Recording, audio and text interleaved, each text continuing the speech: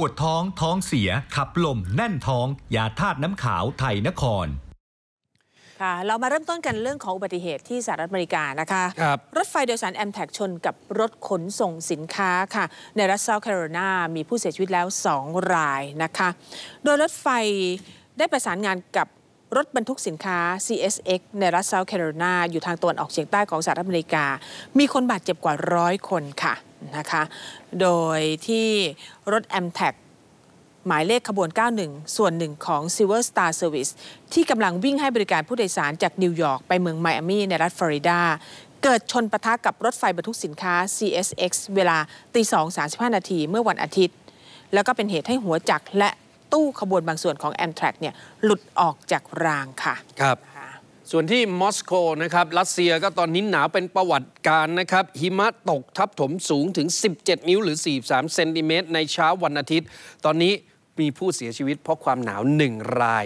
แล้วนะครับ จากต้นไม้หักโค่นทับสายส่งกระแสไฟฟ้า แล้วก็บาดเจ็บอีก 5 คนนะครับ ก็ทำให้ตอนนี้เนี่ยเขาบอกว่าเลวร้ายมากที่สุดเลยนะเลวร้ายมากที่สุด ในรอบหลาย ๆ ปีเลยนะครับ แล้วก็เอ่อเที่ยวบินโดยสารหลายสิบเที่ยวล่าช้าหรือยกเลิกที่ท่าอากาศยานแห่งชาติด้วยนะครับ แต่เรื่องนี้สิคุณ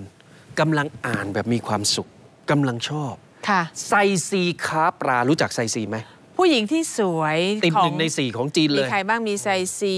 อืมมีใครอีกนะคะ โอ้โห คุณมาเรื่องโบราณเดี๋ยวนะเอ่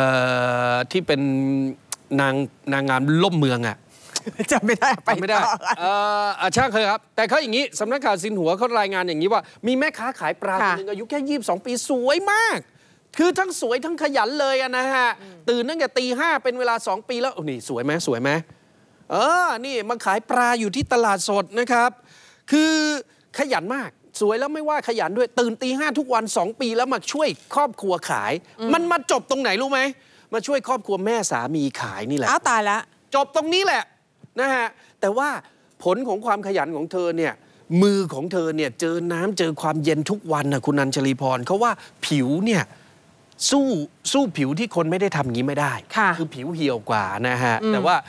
เขาบอกว่าทำไมไม่ไปทำอาชีพอื่น หน้าตาอย่างนี้ไปถ่ายบงถ่ายแบบก็ได้เธอบอกไม่อะ มีความสุข แล้วที่สำคัญที่สุดได้อยู่พร้อมหน้ากันทั้งครอบครัวด้วยค่ะเออนะฮะคือเธอชื่อว่าหยางเจียนนะครับ อายุ 22 ปีอยู่ที่ซูโจวนครซูโจวนี่แหละ เมืองแห่งความสวยงามของประเทศจีนนะครับ มีใครบ้าง อืม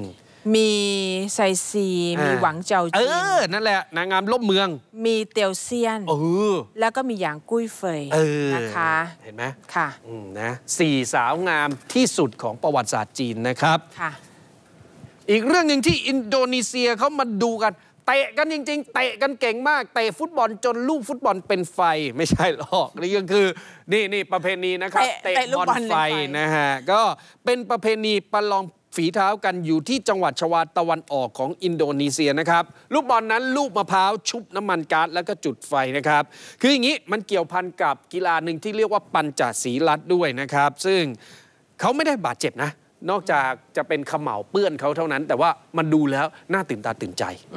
อะนะครับเอาละค่ะ เดี๋ยวเราพักกันก่อนนะคะ ช่วงหน้าไปดูกีฬาและบันเทิงค่ะ